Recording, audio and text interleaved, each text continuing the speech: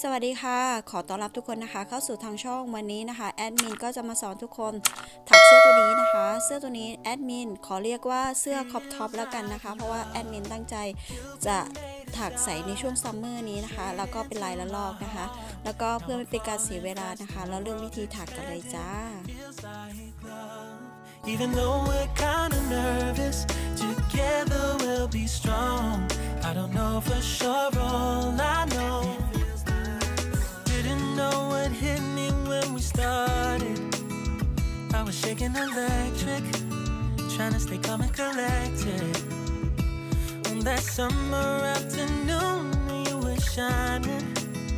like a gem in the sunlight. We were out until midnight, yeah. You said, Do you wanna go out sometime? I said, Girl, you คะสำหรับอุปกรณ์วันนี้นะคะแอดมินใช้ไหมขนาดสี่ ply นะคะ เข็ม 1 เบอร์นะคะ แล้วก็ไหมอยู่ประมาณ 1,520 เมตรนะคะ หรือว่าประมาณ 6 ม้วนนะคะ แล้วก็ pattern ลายแล้วก็ขนาดไซส์ของเรานะคะ แล้วก็ก่อนจะเข้าไปถักกันนะคะแอดมินมี pattern ให้เหมือนเดิมนะคะ โดยเราจะเริ่มต้นนะคะอ่าทำโซ่เหมือนกันทั้งหน้าและหลังนะคะ แล้วก็ถักขึ้นไปนะคะ แต่ความสูงแตกต่างกันเท่านั้นนะคะแอดมินจะสอนด้านหน้านะคะ ส่วนด้านหลังแอดมินจะไม่ได้สอนนะคะ แต่ทำเหมือนกันค่ะ จากนั้นให้เราขึ้นโซ่ไปทั้งหมด 100 โซ่นะคะ หรือว่าทั้งหมด 48เซนติเมตรแล้วก็ถ้าใครอยากได้เสื้อตัวใหญ่มากกว่านี้นะคะ ก็สามารถพิ่มจำนวนโซ่นะคะ หรือว่าใครอยากได้เล็กกว่านี้ก็สามารถลดจำนวนโซ่ที่เราต้องการได้เลยนะคะถอไปนะคะ แถวแรกนะคะ โซ่หนึ่งจากนั้นแถวแรกแอดมินจะทำเป็นฐานนะคะ ก็จะทำลายคอทอหรือว่าลาย X นะคะสำหรับลายคอทอก็แทงเข็มลงไปเก็บไหมผ่านขึ้นมาได้ 2 ห่วงดึงไหมผ่านทั้ง 2 ห่วงค่ะสำหรับแถวแรกตรงนี้นะคะแอดมินจะทำให้เป็นฐานของอตัวลายนะคะ แต่ถ้าใครอยากจะทำตัวลายเลยก็ได้นะคะ ตรง ฐานตรงนี้มันไม่ได้เกี่ยวอะไรนะคะ คือแอดมินอยากให้มันมีฐานเวลาเราทำแถวถัดไปนะคะ มันจะทำง่ายสำหรับเรานั่นเองค่ะค่ะสำหรับเสื้อตัวนี้นะคะแอดมินจะใช้ทั้งหมดนะคะสามลายนะคะ แล้วก็ส่วนลายสีฟ้านะคะแอดมินจะทำเป็นไขว้กัน แล้วก็จะทำให้เป็น ห่างๆนิดนึงนะคะ เพราะว่าจะทำใส่ช่วงซัมเมอร์จะไม่หนามากนะคะ ทีนี้ใครอยากจะได้ลายเหมือนกันนะคะ ก็สามารถดัดแปลงใช้ลายเดียวกันได้นะคะ แต่เวลาทำส่วนโค้งเราทำเหมือนกันค่ะ จากนั้นโซ่3แล้วก็พลิกชิ้นงานนะคะ ทีนี้ โซ่นะคะ ตรงโซ่แอดมินจะทำนับเป็น 1 หลักนะคะ จากนั้นเราทำ CF ไปค่ะสำหรับลาย F หรือว่าลายพอ1คอนะคะ ก็พันหัวเข็ม 1 ครั้ง แทงเข็มลงไป เก็บไหมปัดขึ้นมาปลดทีละ 2 ห่วงนะคะ แล้วก็ 4 หลักแรกเราก็ทำ 4F ก่อนนะคะ จากนั้นเมื่อเราได้ 4F เรียบร้อยอ่า F ที่ 5 ที่ 6 ที่ 7 นะคะ เราจะรวบ 3 หลักเข้าด้วยกันนะคะ หรือว่า 3F ร่วมห่วงพร้อมกันนะคะ ก็แทงเข็มลงไป เข็มไม้พันงาปลด2ห่วง แล้วก็พันหัวเข็มอีกรอบนึง แทงเข็มลงในหลักถัดไป แล้วก็ดึงไหมขึ้นมาปลด2ห่วง แล้วก็พันหัวเข็มอีกรอบนึง แทงเข็มลงในลงหลักถัดไป แล้วก็ปลด2ห่วง ได้ทั้งหมด 3 ห่วงนะคะ 4 ห่วงกับที่เป็นฐาน แล้วก็รวบห่วงพร้อมกันค่ะ จากนั้น เราก็จะทำ 5F นะคะ หรือว่า 5F 5 ครั้งแต่ละหลักนั่นเองค่ะ หรือว่าพอ1คออแต่ละหลักนะคะ 5 หลักค่ะ ตรงนี้นะคะสำหรับลายตรงนี้นะคะแอดมินจะทำลายละลอกหรือว่าลายซิกแท็กนะคะ ก็จะมีความโค้งนะคะก็คือเรามีความห่าง 5 นะคะ แล้วก็ลง 5 แต่ก็รวบแล้วก็ตรงมุมนะคะ ทีนี้เมื่อเราได้ 5F เรียบร้อยนะคะ หลักถัดไปนะคะ เราจะลง 3F ในหลักเดียวกันนะคะ หรือว่าลายพอ1คอ3 ครั้งในหลักเดิมค่ะ ต่อไปหลักที่ 3 นะคะ F ครั้งที่ 3 นะคะ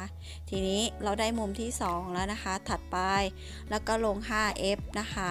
หรือว่า F แต่ละหลักนะคะ 5 ครั้งค่ะสำหรับเสื้อตัวนี้นะคะแอดมินให้มีช่องไฟนะคะ แต่ละช่องเป็น 55 นะคะ แล้วก็แต่การทำมุมนะคะ หรือว่าส่วนที่เป็นซิกแซกนะคะ คือ V นะคะ หรือว่า 3F ลงในหลักเดียวกัน แล้วก็ รวบ3หลักเป็น 1 หลักนะคะ ยังคงที่คือเรามาจะเป็นการหักมุมหรือว่าทำลายซิกแซกนั่นเองนะคะ แต่ถ้าใครไม่อยากได้ช่องไฟ55 นะคะ ว่ามันถี่เกินไปเราสามารถเพิ่มจำนวนได้นะคะ หรือว่าเราก็ช่องไฟแต่ละช่องเรากะได้นะคะ ทีนี้ถัดมาค่ะ เมื่อเราลง V นะคะ แล้วก็ช่องไฟ5ถัดไปนะคะ หักมุมนะคะ เราก็จะรวบ3หลักเป็น 1 หลักค่ะ ถัดไปช่องไฟของเรานะคะก็ F นะคะ 5 ลง F แต่ละหลักนะคะ 5 หลัก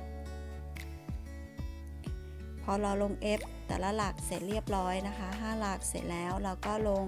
3F ในหลักเดียวกันนะคะ มันก็จะเป็นการทำมุมซิกแซกของเรานั่นเองค่ะ จากนั้นก็ดำเนินการต่อกันนะคะ ก็ทำสลับกันไปแบบนี้จนกว่าเราจะจบแถวนะคะ แล้วก็สำหรับใครทำไซต์ตัวเองนะคะ เราถักโซ่เท่าไหร่ไม่เป็นไรนะคะ ถ้าเราจะถึงหลักสุดท้ายนะคะ อย่างของแอดมินเนี่ยนะคะ มันจะเหลือแค่ 4 หลักนะคะ สุดท้ายนะคะก็จะลงที่ V นะคะ หรือว่า 3 หลักในหลักเดิมนะคะ ส่วน 3 หลักสุดท้ายนะคะ แอดมินก็จะลง 1F แล้วก็รวบ 2 หลักเป็น 1 หลักในหลักสุดท้ายนะคะ2 2หลักสุดท้ายรวบด้วยกันสำหรับใครรวบห่วงพร้อมกันนะคะ หรือว่ารวบ 3 หลักเป็น 1 หลักนะคะ ถ้ารวบ 3 หลักเป็น 1 หลักนะคะ แล้วก็เหลือ 4 หลักสุดท้ายนะคะ ก่อนเราจะถึงหลักสุดท้ายนะคะเราก็ทำปกติได้เลย แต่หลักสุดท้าย เราให้เราเพิ่ม v นะคะ เพราะว่าเรารวบแล้วเนาะเราก็ลง f ลง f แต่ละหลักแต่หลักสุดท้ายเราก็ต้องเพิ่ม v ค่ะ ทีนี้ส่วนตัวนี้เหมือนที่แอดมินได้กล่าวไปนะคะของแอดมินนะคะ ก็จะเหลืออลง v นะคะ พอลง v นะคะแอดมินก็จะรวบ 2 หลักเป็น 1 หลักค่ะ ใน 2 หลักสุดท้ายนะคะ หรือว่า a นั่นเองค่ะ จากนั้นนะคะรวบแล้วก็โซ่หนึ่งนะคะ แล้วก็พี่งาน จากนั้น 2 หลักแรกนะคะ เราก็ทำ A ค่ะ หรือว่ารวบ 2 หลักเป็น 1 หลัก พอเรารวบ 2 หลักเป็น 1 หลักเรียบร้อยนะคะ เราก็ลง 2x นะคะ หรือว่า x แต่ละหลัก 2 ครั้งนะคะ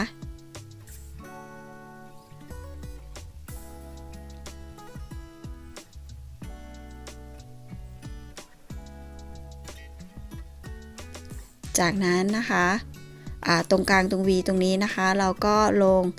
3F นะคะ ในหลักเดิม อันนี้แอดมินบอกลืมบอกไปนะคะแอดมินจะคล้องเส้นกลางเส้นเดียวนะคะ เพราะว่าเวลาทำมันจะได้เนื้อที่กว่านะคะ แล้วก็มันเป็นเส้นด้านนอกด้วยนะคะ ทีนี้ช่องไฟของเราค่ะแอดมินก็จะลง 5F นะคะ โดยของเส้นกลางเส้นเดียวนะคะ โดยลาย F นะคะ มันก็จะมีเส้นหลังเส้นหน้านะคะ แล้วก็เส้นกลางนะคะแอดมินก็จะคล้องเส้นกลางนะคะ เหมือนที่เราลิ้วหลักนะคะ แล้วก็เส้นหน้าอย่างนี้ประมาณนี้นะคะ ถัดมาหักมุมนะคะ ก็รวบซ้ำหลักเป็นหนึ่งหลักค่ะ โดยยังคล้องเส้นกลางเส้นเดียวนะคะ จากนั้นช่องไฟของเราค่ะ 5F นะคะ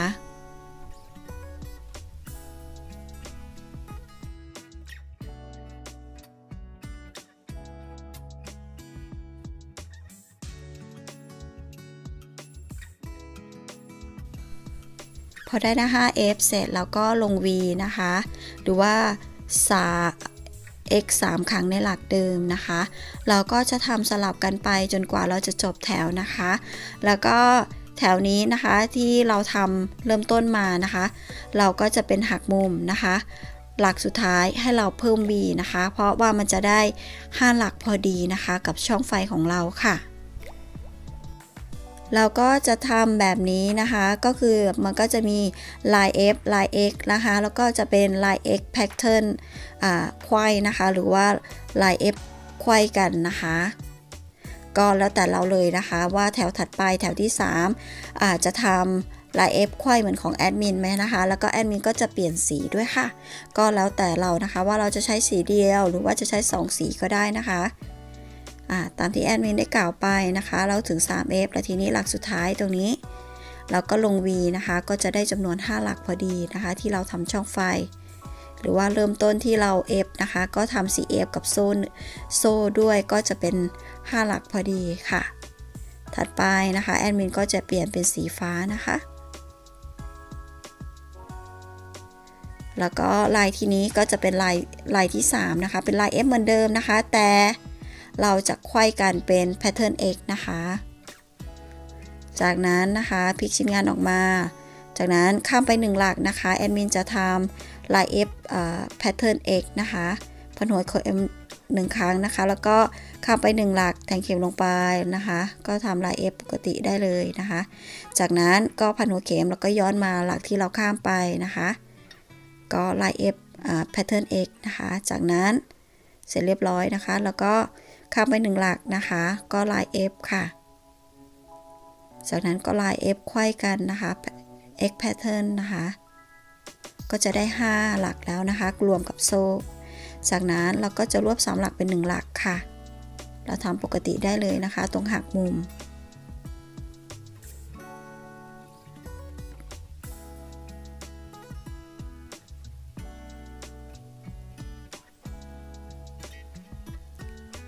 ถัดไปค่ะ ก็ข้ามไป1หลักนะคะ แล้วก็ทำ F ค่ะ แล้วก็ทำ F ที่หลักที่เราข้ามไปนะคะ จากนั้นค่ะข้ามไป1หลัก ก็ลาย F นะคะ จากนั้นก็ควายกลับมาค่ะลาย F ที่เราข้ามไป จากนั้นนะคะช่องไฟของเราหลักสุดท้าย เราลง F ปกติ 1 หลักค่ะ ก็ประมาณนี้นะคะ ช่องไฟของเราก็จะได้ x ไขว้กัน 2 ครั้ง แล้วก็ f ปกติ 1 ครั้งนะคะ จากนั้นลง v ค่ะ หรือว่า 3f ในหลักเดียวกันนะคะ 3 ครั้ง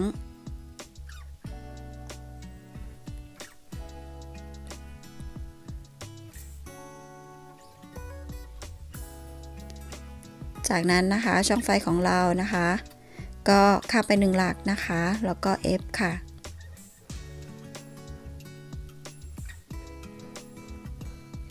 แล้วก็ข้ามไป1หลักนะคะ แล้วก็ f ขออภัยนะคะ ก็ย้อนกลับมาหลักที่เราข้ามไป จากนั้นข้ามไป1หลักนะคะ ก็ทำ f จากนั้นก็ f ที่อีกครึ่งครั้งที่เราข้ามไป แล้วก็ 1f หลักสุดท้ายนะคะ หลักที่ 5 ก็ถัดไป 3f ในหลักเดเอ่อรวบ 3 หลักเป็น 1 หลักค่ะ ในช่วงหักมุม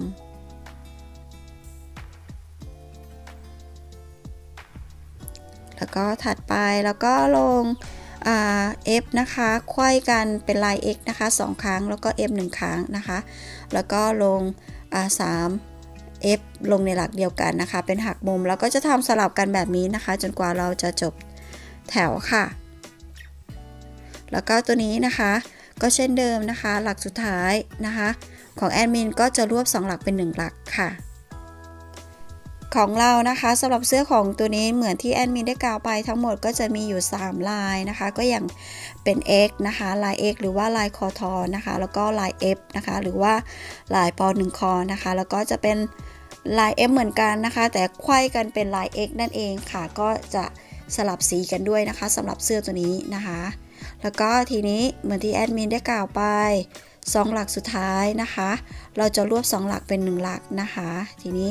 เราไขว้กัน 2 หลักก่อนนะคะ อันนี้ยังไขว้กันได้อยู่ จากนั้น 2 หลักนะคะ ก็รวบ 2 หลักเป็น 1 หลัก เราก็ไม่ต้องทำ x ก็ได้นะคะ หรือว่าไม่ต้องทำ x pattern นะคะ แล้วก็รวบปกติได้เลยค่ะ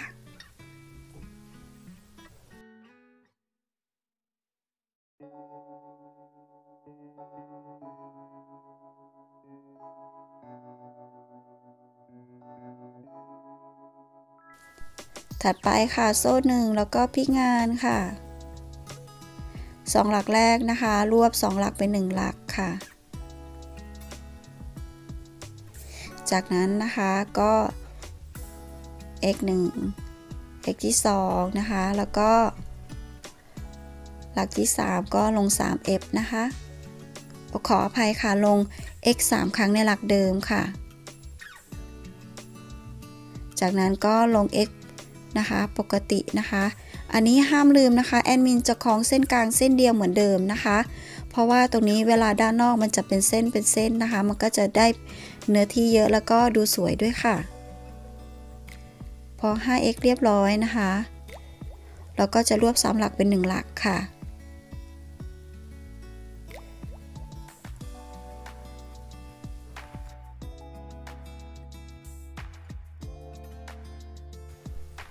จากนั้นนะคะแล้วก็ลง 5x ค่ะ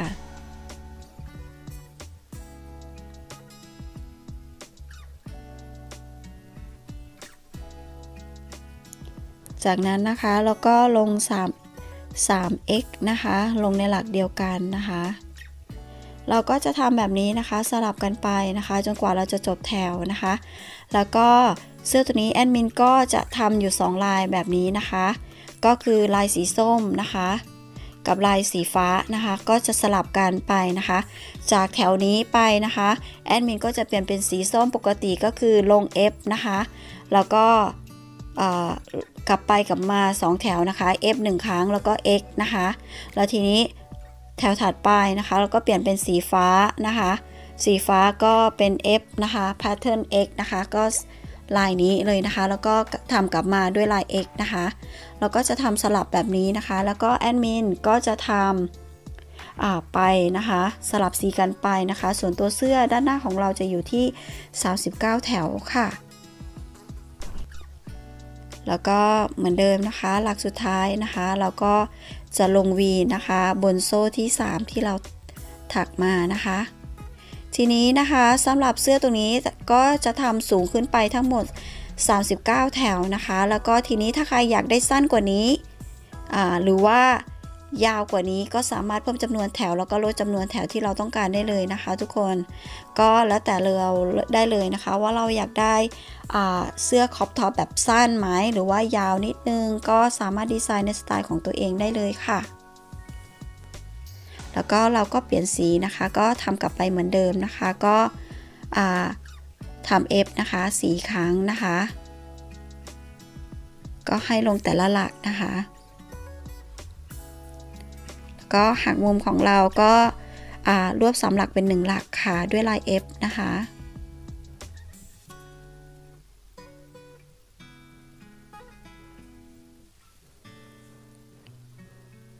จากนั้นนะคะก็ลง 5F ค่ะ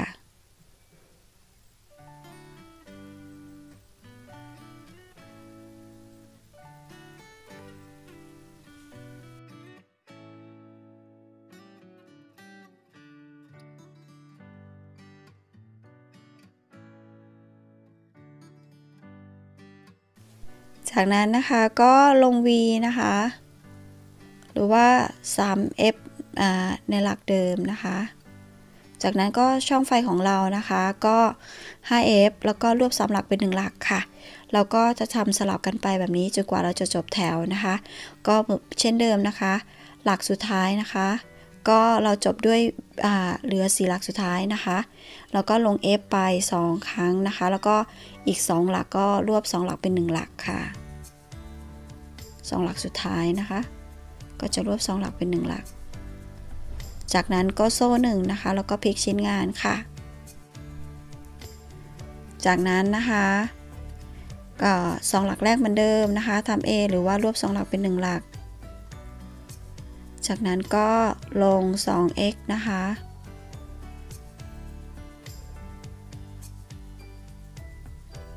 พอ 2x แล้วก็ลง v นะคะ หรือว่า 3 3x ลงในหลักเดิมนะคะ แล้วก็ช่องไฟของเรา 5x นะคะ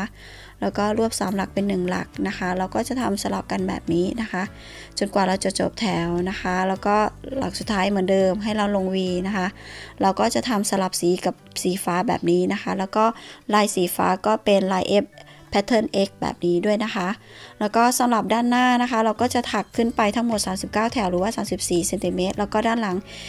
49 แถวนะคะ หรือว่า 42เซนติเมตรนั่นเองค่ะ ค่ะสำหรับงานของเราออกมาก็ประมาณนี้นะคะ เดี๋ยวเราไปแบ่งนะคะ นับส่วนแล้วก็ถักส่วนขอขึ้นไปนะคะ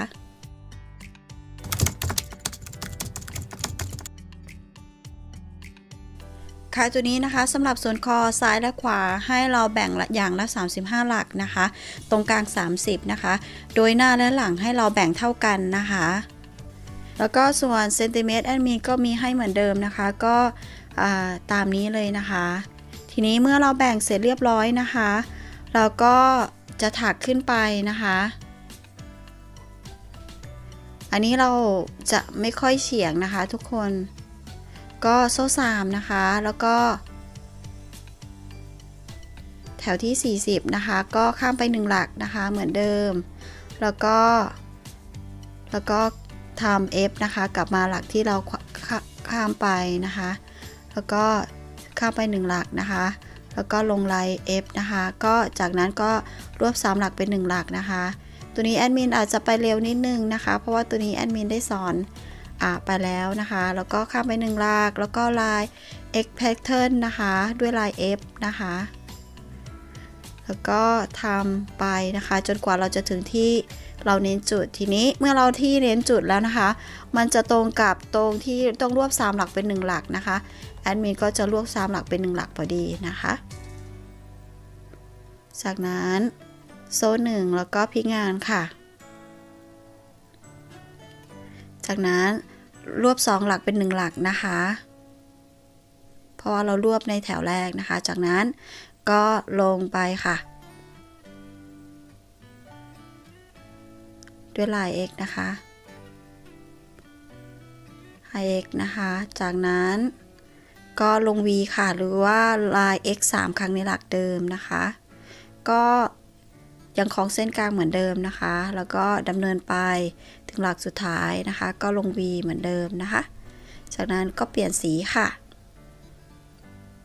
จากนั้นก็ทำ F กลับไปนะคะ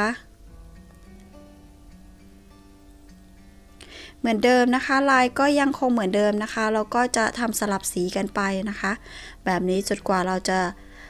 ได้ทั้งหมดนะคะสำหรับเสื้อตัวนี้นะคะแอนมินก็จะทำตรงความสูงของคอนะคะ ขึ้นไปทั้งหมด 12 แถวนะคะ 12 แถวนี้รวมกับ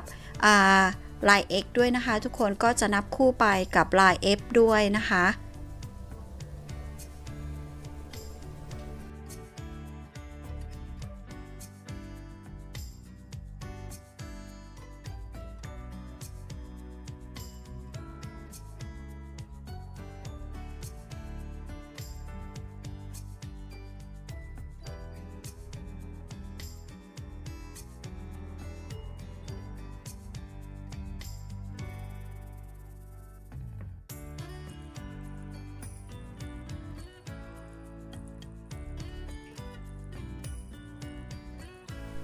ค่ะ จากนั้นนะคะเราก็ดำเนินไปนะคะ เราก็ทำด้านหน้านะคะ ขึ้นไปทั้งหมด 12 แถวนะคะ 13เซนติเมตรนะคะ แล้วก็ส่วนด้านหลังก็ทำไปทั้งหมดสองแถวนะคะ งานออกมาก็ประมาณนี้นะคะ แอดมินก็จะนับคู่ไป แล้วก็อีกฝั่งหนึ่งนะคะเราก็ทำเหมือนกันนะคะ แล้วก็ต่อในส่วนด้านในของคอ แล้วก็ถักออกไปนะคะ ส่วนไปด้านข้างนะคะ แล้วก็แพทเทิร์นลายก็เหมือนเดิมค่ะ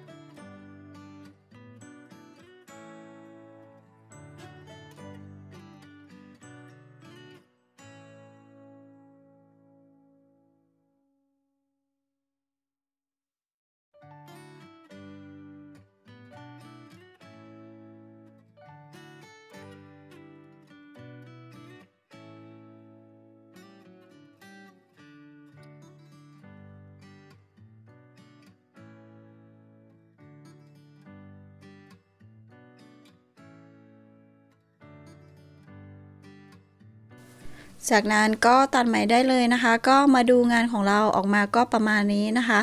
แล้วก็ในส่วนด้านข้างนี่แอดมินจะเก็บขอบนะคะ โดยสีส้มแอดมินก็จะเก็บขอบด้วยสีส้ม สีฟ้าแอดมินก็จะเก็บขอบด้วยสีฟ้า ทีนี้ถ้าใครไม่ต้องการเก็บขอบด้านข้าง จะเย็บติดทั้งสองข้างเข้าด้วยกันก็ได้ค่ะ แต่แอดมินในในความคิดของส่วนตัวของแอดมินเองนะคะแอดมินชอบเก็บขอบให้มันเรียบร้อยนะคะ เวลาเราไปต่อนะคะ งานมันจะได้สวยนะคะ โดยตรงนี้นะคะ ในทั้งหมด 3 แถวสีส้มตรงนี้นะคะแอดมินก็จะเก็บลายคอทอไปนะคะ ก็ให้ได้ทั้งหมดอ่าสี่สี่หลักนะคะ หรือว่า 5 หลักนะคะ ตรงนี้นะคะก็จะได้ 5 หลักก่อนนะคะ แล้วก็ 4 หลักนะคะก็จะอยู่ที่สีส้มที่เราถักมาอาสองแถวนะคะ ทีนี้เปลี่ยนสีนะคะแอดมินก็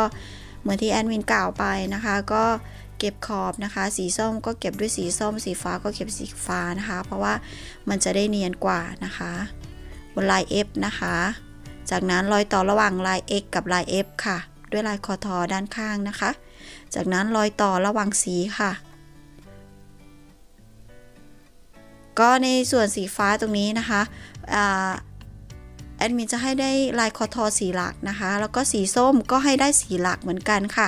ทุกสีนะคะ ที่เราถักด้านข้างตรงนี้ให้ได้เก็บขอบได้ x 4ครั้งนะคะ ก็สีละสีสีสีหลักนั่นเองค่ะ เพราะว่าถ้าเราเก็บแบบนี้นะคะอ่าด้านอีกด้านหนึ่งนะคะ เราก็ต้องเก็บให้เหมือนกันนะคะเพราะเวลาเรามาเย็บติดนะคะ มันจะได้ balance กันค่ะ โดยวิธีแอดมินเก็บนะคะ ก็บนลาย F นะคะบนลาย F หนึ่งครั้ง รอยต่อระหว่างลาย X กับลาย F นะคะ ก็แล้วก็ลาย X นะคะ แล้วก็รอยต่อระหว่างสีนะคะ ด้วยลาย X นะคะ ก็จะได้ทั้งหมดสี่ X นะคะ แล้วก็เปลี่ยนสีแบบนี้นะคะ แล้วก็ดำเนินไปจนกว่าเราจะจบแถวนะคะ ถ้าใครมองไม่ออกนะคะ ว่างานมันออกมาจะเป็นประมาณไหนก็เป็นประมาณนี้เลยนะคะ เวลาเราเย็บติดเข้าด้วยการงานมันจะเรียบแล้วก็ดูสวยด้วยค่ะ จากนั้นก็ไปทำอีกฝั่งหนึ่งให้เหมือนกันนะคะ แล้วก็ไปทำในส่วนด้านหลังด้วยนะคะ แล้วก็อีกฝั่งหนึ่งนะคะให้เราถักในส่วนด้านนอกของตัวเสื้อนะคะ ไม่ต้องถักในส่วนด้านในนะคะ เพราะว่ามันจะเป็น ปุ่มแล้วก็มันจะไม่สวยนะคะ เหมือนตรงนี้นะคะ เราก็จะเริ่มต้นตั้งแต่ด้านบนลงด้านล่างนะคะ อีกฝั่งหนึ่งแล้วก็จะทำจากด้านล่างขึ้นข้างบนนะคะ ให้เป็นให้เป็นว่าเราถักลาย X นะคะ ในส่วนด้านหน้าเท่านั้นนะคะ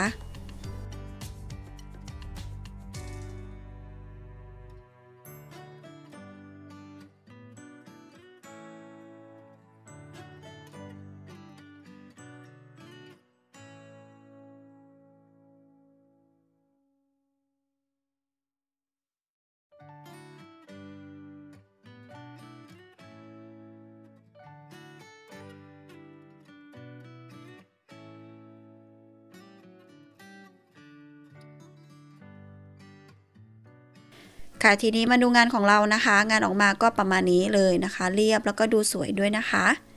ทีนี้ด้านหลังก็ได้เช่นกันนะคะ เรียบร้อย ทีนี้ให้นำสองอสองชิ้นนะคะ มาเย็บเข้าด้วยกันนะคะ ด้านหน้ากับด้านหลังนะคะ ให้เย็บในส่วนด้านในของตัวเสื้อนะคะ บนไหล่ก่อนนะคะ เวลาเราเย็บก็สามารถเย็บหลักต่อหลักได้เลยค่ะ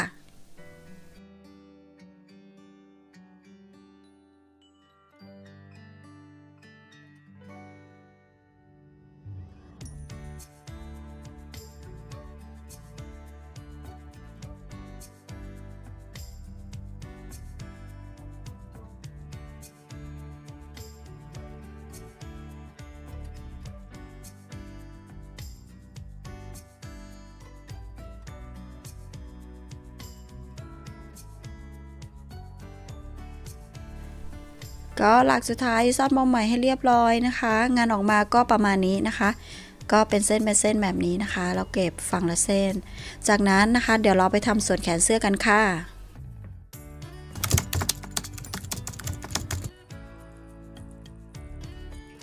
ค่ะสำหรับส่วนด้านตรงแขนนะคะ เราก็จะทำเหมือนกันนะคะ แต่แอดมินจะทำโซ่ไปทั้งหมด 70 โซ่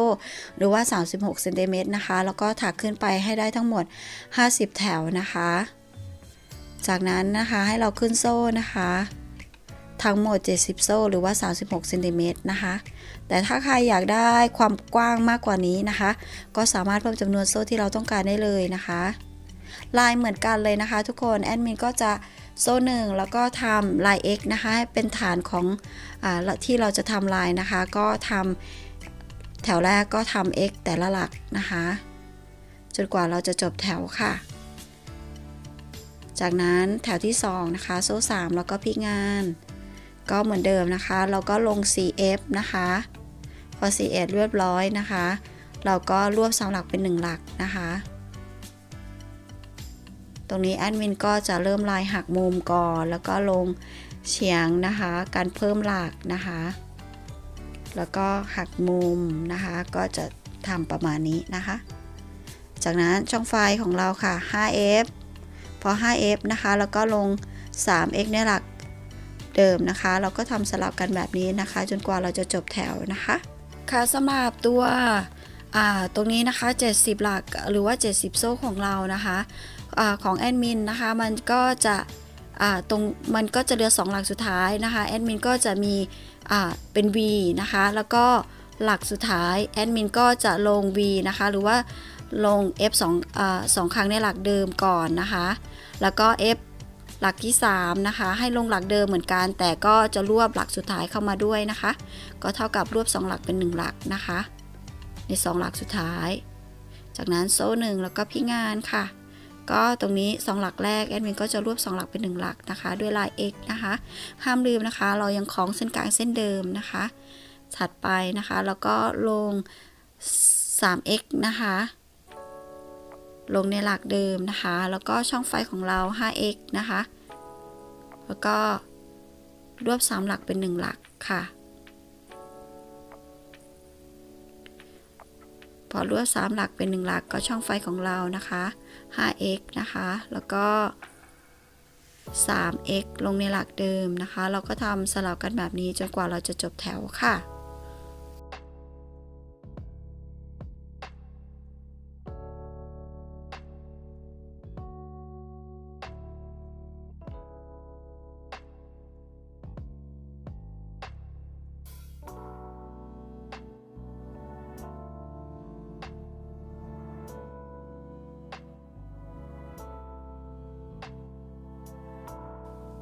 นั้นเราก็เปลี่ยนสีนะคะ ก็ทำสีฟ้า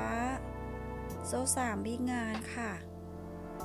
อาจจะไปเร็วนิดนึงนะคะ เพราะว่าตัวนี้แอดมินได้สอนไปแล้วนะคะ เพราะว่าก็ลายเดิมนะคะ ก็ข้ามไปหนึ่งหลักนะคะ ก็ทำลาย fx pattern นะคะสองครั้งนะคะ จากนั้นก็รวบสามหลักเป็นหนึ่งหลักค่ะ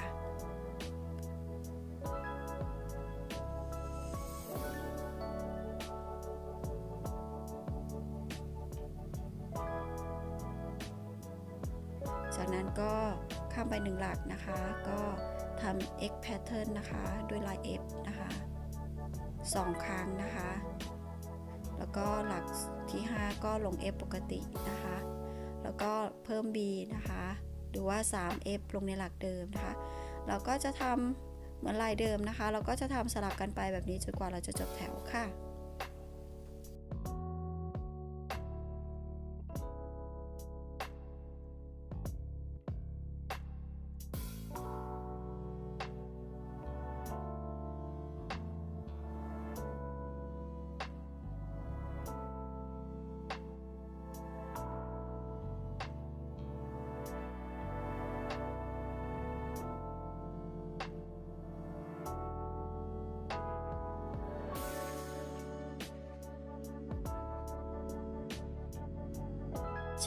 นเดิมนะคะ2หลักสุดท้ายก็ลง 3f นะคะ แต่ละ f ที่ 3 ให้รวบหลักสุดท้ายเข้ามาด้วยนะคะ จากนั้นโซ่1แล้วก็พิงานนะคะ2หลักแรกนะคะ ก็ทำเอนะคะ หรือว่ารวบ2หลักเป็น1หลักค่ะ จากนั้นนะคะก็เพิ่ม x เข้าไปนะคะ อีก 2 ครั้ง จากนั้นก็ทำช่องไฟของเรานะคะ 5x ค่ะ แล้วก็รวบสามหลักเป็น 1 หลักนะคะ แล้วก็ช่องไฟของเรานะคะ 5x แล้วก็ลง 3x ในหลักเดิมนะคะ แล้วก็ทำสลับกันไปแบบนี้ แล้วก็ทำความสูงให้ได้ทั้งหมด 46ซนติเมตรนะคะ หรือว่า 50 แถวนั่นเองนะคะ แต่ทีนี้นะคะ ถ้าใครอยากได้ตัวแขนเสื้อยาวกว่านี้ หรือว่าสั้นกว่านี้ก็สามารถหยุดจำนวนแถว หรือว่าเพิ่มจำนวนแถวที่เราต้องการได้เลยนะคะ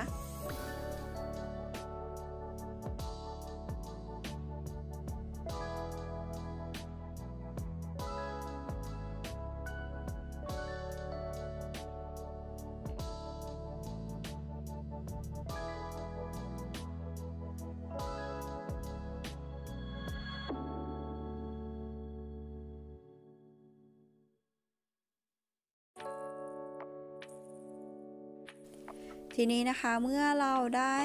ครบ50 แถวเรียบร้อยนะคะ ทีนี้เราก็เหมือนเดิมนะคะ เราก็จะเก็บขอบด้านข้าง ตัวแขนเสื้อเหมือนกันนะคะ ก็เหมือนเดิมนะคะ ก็เก็บเหมือนที่ตัวเสื้อแล้วก็ด้านตัวด้านหลังเสื้อนะคะ ด้วยลาย X ค่ะ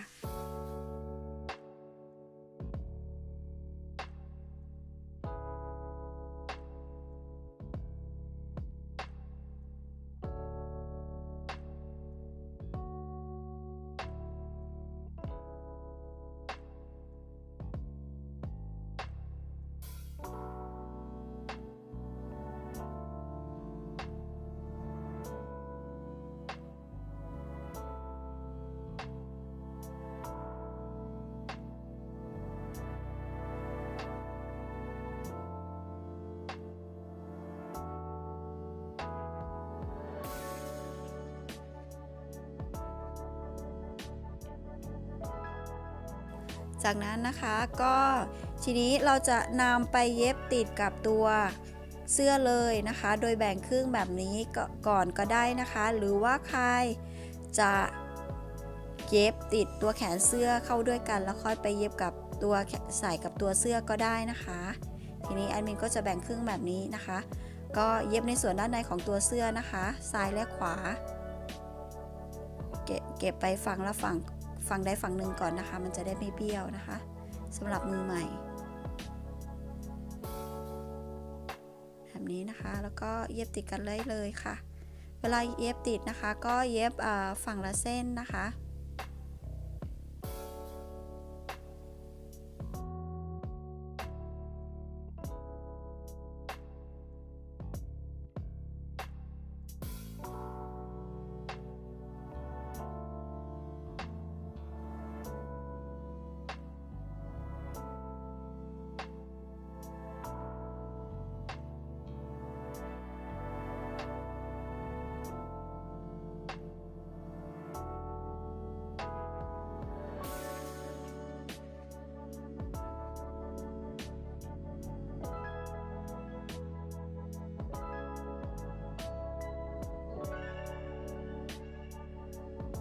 สำหรับงานที่เราเย็บออกมานะคะ ก็เก็บฝั่งละเส้นงานออกมาก็ประมาณนี้นะคะ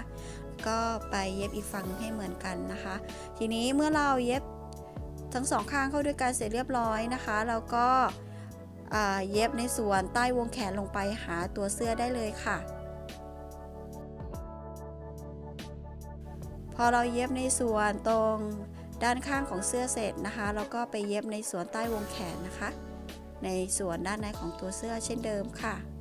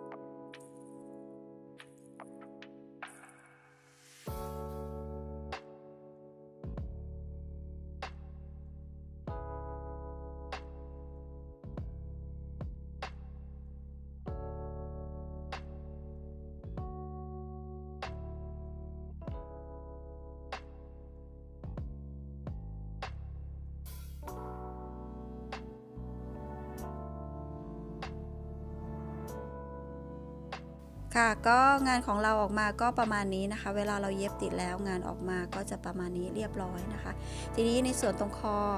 เราจะเก็บขอบก็ได้ หรือไม่เก็บขอบก็ได้นะคะ โดยตัวของแอดมินอขอเก็บขอบแล้วกันเนาะเพราะว่าอยากให้มันเรียบร้อยนะคะแอดมินก็จะเก็บขอบอด้วยลายเอกนะคะ ด้วยแบ่งครึ่งนะคะ แบ่งกึ่งกลางในส่วนด้านหลังของเสื้อนะคะจากนั้นก็ให้นำสีส้มมาต่อนะคะ เพราะว่าเรา ตรงปลายแขนเราเริ่มต้นเป็นสีส้มนะคะแอดมินก็จะขออเป็นสีส้มนั่นเองค่ะค่ะสำหรับตัวลายนะคะสำหรับตัวเสื้อด้านหน้ากับด้านหลังนะคะ มันก็จะมีส่วนของซิกแซกนะคะ เราก็ถักตามลายนะคะของเราได้เลยนะคะ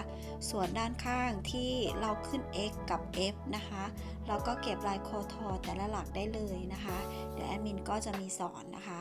เหมือนแบบนี้นะคะ เราเก็บลายคอทอนะคะ แต่เราก็ตรงที่เราเพิ่ม3อ่า 3x ในหลักเดิมนะคะ แล้วก็ต้องลง 3m ในหลักเดิม แล้วก็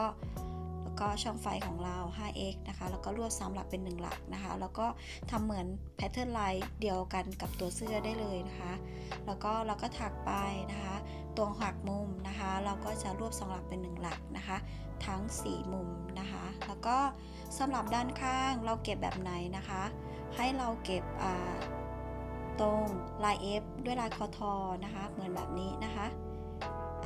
ตรงนี้นะคะเลยหักมุมไปแล้วนะคะ ก็ F ตรงนี้ก็ลายคอทอรอยต่อนะคะ ด้วยลาย X ด้วยลายคอทอนะคะ แล้วก็ลาย F ด้วยคาทอแบบนี้ได้เลยนะคะไม่ต้องอไม่ต้องเก็บเหมือนด้านข้างนะคะ ถ้าด้านข้างมันจะถี่ไปนะคะ มันจะทำให้ตัวคอของเรามันหย่อนนะคะ แอดมินก็จะเก็บตามแถว ของเราได้เลยนะคะ แล้วก็เราก็ดำเนินแบบนี้ไปจนกว่าเราจะจบรอบของคอเสื้อค่ะ